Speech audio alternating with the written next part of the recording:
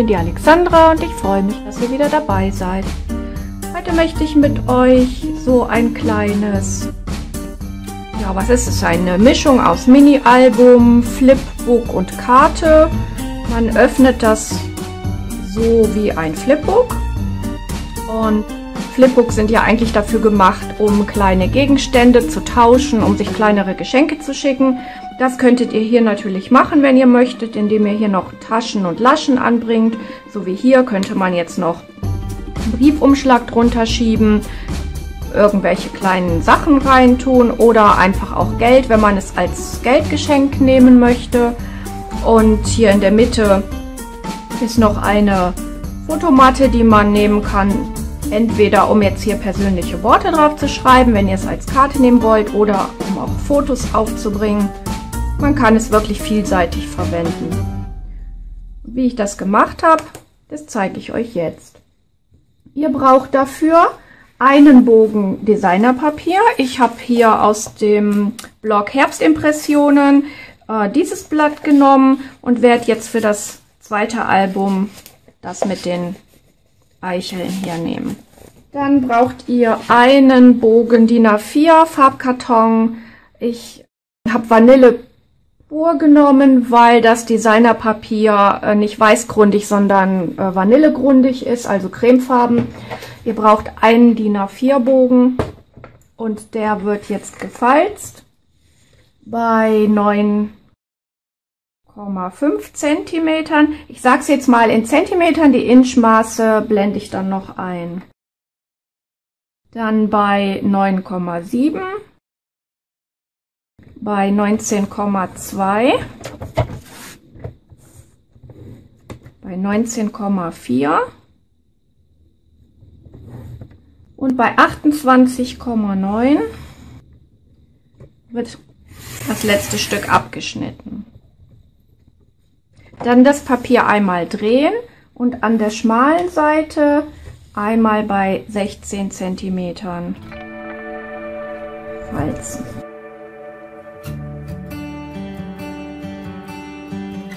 Jetzt einmal alle Falzlinien nachziehen.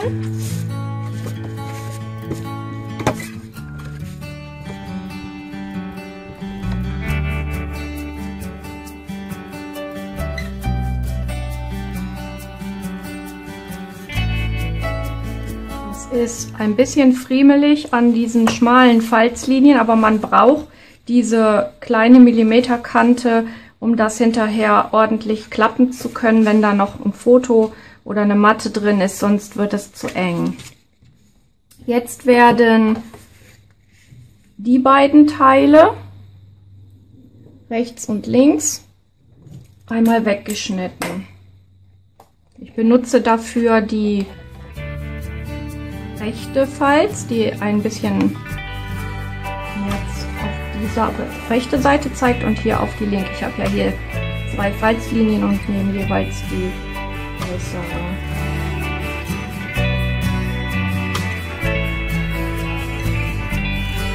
Diese kleinen Nähte schneide ich jetzt hier noch rein. So, dieser Millimeter einmal einschneiden und dann wird er einmal rumgeknickt eine sehr kleine Klebelasche, aber es macht die Tasche etwas, ja, dass die, einen ganz, dass die einen kleinen Abstand hat hier und dadurch kann man hier hinterher besser noch eine Fotomatte reintun. Ich schräg das ein kleines bisschen an.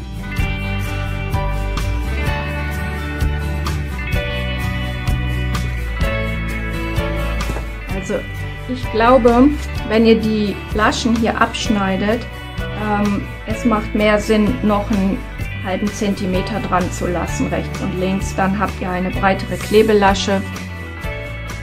Und das habe ich bei meinem ersten Album auch so gemacht. Ist mir gerade aufgefallen. Es war dumm, das da wegzuschneiden. Aber gut, das wird schon funktionieren.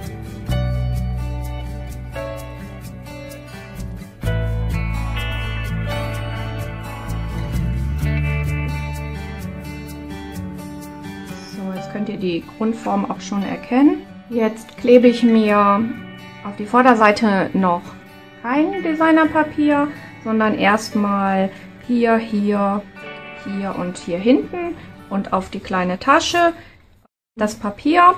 Ich habe alles aus einem Bogen Designerpapier ausgeschnitten. Man bekommt drei, vier Stücke und das etwas kürzere hier. Ich habe das aber hier so gemacht, dass ich jetzt nicht noch einen neuen Bogen angeschnitten habe, sondern ich habe mir einfach die restlichen Papiere, die restlichen Stückchen, die dann hier überbleiben, die habe ich mir ein bisschen hier zu einem Rahmen zurechtgeschnitten oder habe zum Beispiel hier innen das Stück hat nicht mehr ganz gepasst. Da habe ich oben und unten ein Stück geklebt und in die Mitte nochmal ein Stückchen von diesem übrig gebliebenen Papier. Also das könnt ihr machen, wie ihr wollt. Ihr könnt natürlich nochmal neun Bogen anschneiden und euch genau die Papiere passend machen. Mir war das aber zu schade, auch um all die kleinen Stücke. Und ich fummel mir das so ein bisschen zurecht, so wie es halt passt. Und klebe das jetzt auf. Und dabei kommt hinten unter das Designerpapier, bevor es aufgeklebt wird, wird noch hier ein Streifen für den, den Verschluss angeklebt. Dann nehme ich ein Stück von dem Papier, das hier ähm, unten übrig geblieben ist und das werde ich dann hier drunter kleben und umknicken. Ich schneide es mir ein bisschen schmaler, das müsst ihr so nach Gefühl machen, wie es euch am besten gefällt und runde mir vorne die Ecken ab. Das klebe ich jetzt alles einmal zusammen und dann bin ich gleich wieder da.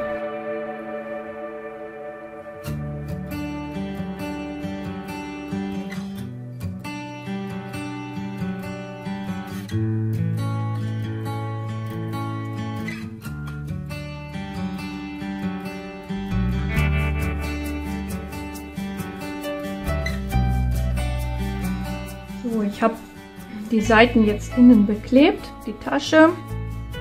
Und diese Innenseite hier unter dem Papier die Lasche angebracht. Und ich habe dieses Papier ein Stückchen größer gemacht, weil es die Rückseite ist, dass es komplett die Seite abdeckt. Und hier habe ich noch so ein bisschen die Kanten sichtbar gelassen, die Stücke etwas kleiner geschnitten. Ich werde euch die Maße aber auf meinem Blog alle aufschreiben wenn es jemand nachbasteln möchte, dann könnt ihr einfach in der Infobox schauen. Ähm, da verlinke ich euch den Blog und da könnt ihr dann nochmal drauf gehen und die Maße alle nachlesen. Ich werde die nicht alle einblenden diesmal, weil das einfach zu viel ist. Ich habe hier hat fast jedes Stück eine andere Größe. Jetzt kann mein Deckblatt darüber geklebt werden. Das werde ich aber vorher noch ein bisschen bearbeiten. Ich möchte das so machen, wie ich das bei diesem Album gemacht habe.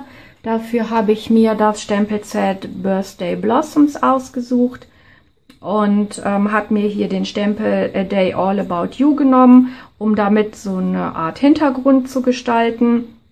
Und mit dem Blütenstempel habe ich, ich glaube, fünfmal diese Blüte aufgestempelt und mit der passenden Handstanze, die es dazu gibt, habe ich die ausgestanzt und damit dann in mehreren Lagen so eine Blüte gemacht, dann noch das Blatt aufgestempelt und ausgeschnitten und habe dann so meinen Aufleger gestaltet.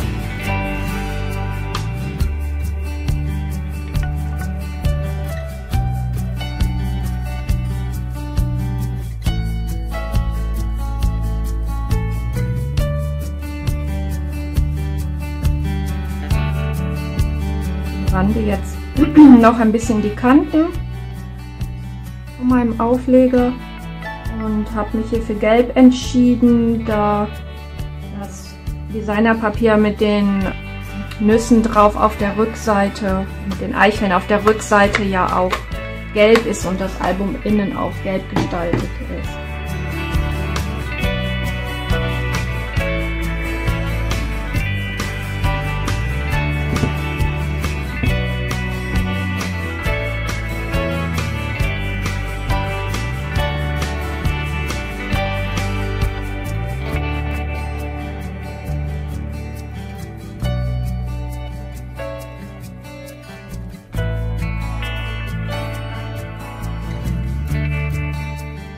Ich habe jetzt die kleine Blüte zusammengesetzt und meine Blätter ausgeschnitten. Außerdem habe ich mir einen kleinen Kreis ausgestanzt aus so einem Restchen.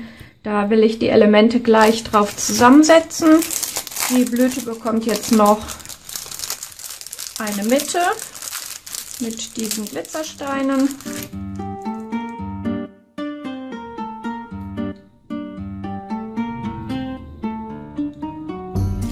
Dann habe ich mir aus diesem Set, das ist neu aus dem Herbst-Winter-Katalog, Metallic Schneeflocken, eine Schneeflocke in der Mitte durchgeschnitten und die klebe ich mir jetzt hier auf meinen Kreis.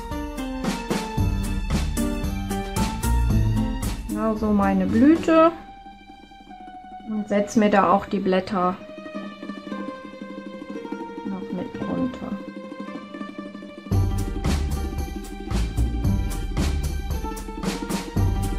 muss das noch zusammengesetzt werden.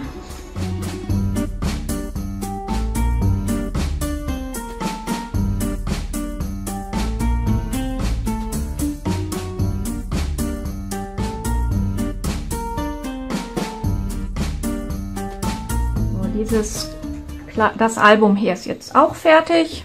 Oder Karte, wie auch immer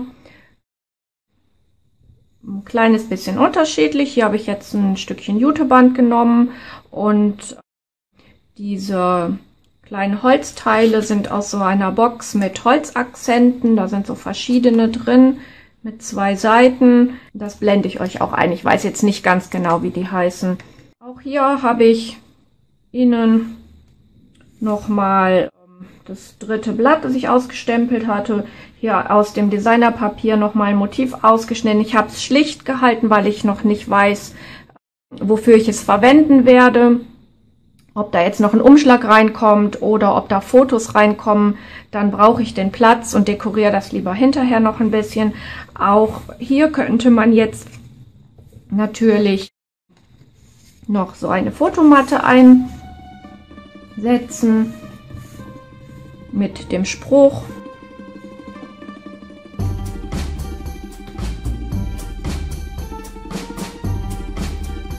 Aber das ähm, Verzieren macht ja sowieso immer jeder so, wie es ihm gefällt. Und ähm, ich habe deswegen diesmal auch die Maße wirklich nicht eingeblendet, weil ich einfach äh, das Designerpapier so irgendwie, wie es halt kam, benutzt habe. Ich kann das aber gerne nochmal nachmessen für diejenigen, die genau wissen möchten, wie groß die Stücke waren. Und in der Infobox könnt ihr nachlesen, wo die Maße dann stehen. Ich danke euch fürs Zuschauen. Ich hoffe, es hat Spaß gemacht. Bis zum nächsten Mal. Tschüss.